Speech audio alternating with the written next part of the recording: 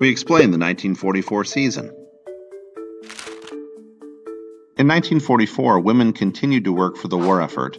Oveta Culp led the WACs, and Fannie Lou Hamer was married and began toiling on Marlow's plantation, which would set the stage for her fight against future injustice.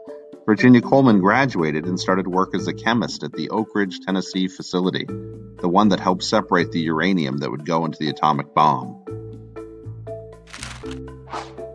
Actresses like Marlene Dietrich helped the war effort by using her German heritage to record popular songs that were secretly sent to the Axis. She also served in USO shows and helped raise bond money. The All American Girls Professional Baseball League headed into its sophomore season with a boost from its season one popularity.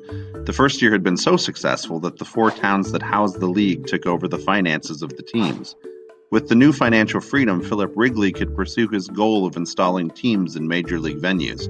So he, Branch Rickey, and Paul Harper financed the expansion of two new teams, the Milwaukee Chicks and the Minneapolis Millerettes.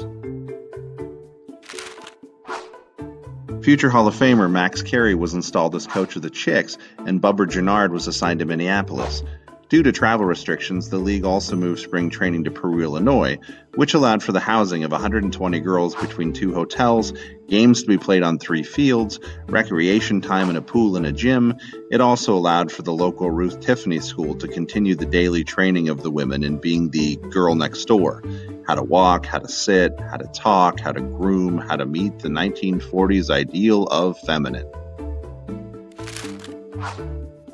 Of the 120 women who came to Peru, 90 would be chosen to play on the six teams.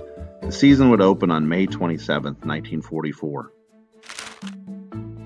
Wrigley's experiment of placing the two new teams in minor league stadiums proved to be a mixed bag. The Chicks were placed in Borchert Field, home of the Brewers, and the Millerettes played at Nicollet, home of the Millers. Chicks would make their way to the championship, while the Millerettes would play most games on the road with a losing streak and become branded as the Orphans. The new teams had a limited fan base due to being placed in larger cities with multiple options for entertainment, including the men's games. It was also hard to get close to fans with the bigger separation, unlike the small town teams. People complained about the price of a 95 cent ticket, the fields were larger and harder to play softball style on, big city media ignored the games, and Wrigley's gimmicks didn't bring in the crowds.